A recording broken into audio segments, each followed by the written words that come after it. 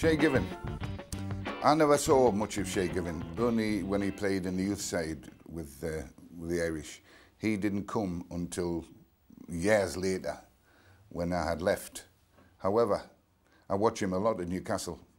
And Shay Given, uh, his instinctive saves and things, I mean, he's one of the top goalkeepers in the Premier Division now.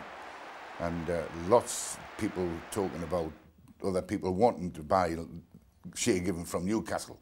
That's the last thing in the world Newcastle people want because they appreciate that Shay Given is an extremely good goalkeeper.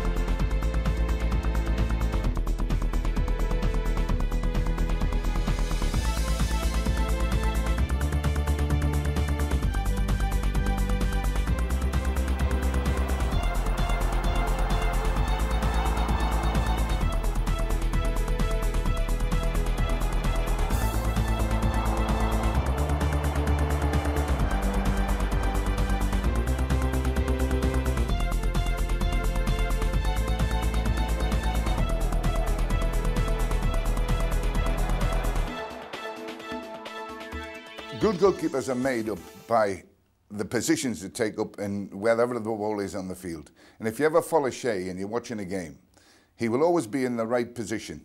If, uh, if, if they're attacking or they're playing through midfield towards halfway line, you'll always find Shay 8 or 10 yards off his 18 yard box so that if anything comes back, he will be one of the first ones to get to it.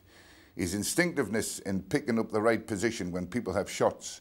I mean, and, and you might think this is being a bit over the top, but that is 90% of the saves he makes because he puts himself in the best position to get to a ball.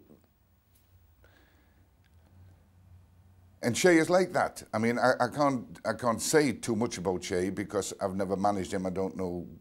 I know him as a player at Newcastle, and I know that uh, they may get back, past the back four, but they're going to have a hell of a job getting past Shay Given because he is a remarkably good goalkeeper instinctively, he does everything right.